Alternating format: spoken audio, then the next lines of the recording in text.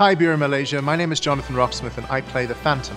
Hello, my name is Meghan Picerno, and I play Christine Daye. And I'm Matt Leisy, and I play Raoul. And we are very excited to bring the Phantom of the Opera to Kuala Lumpur for the first time. At the beautiful Istana Budaya.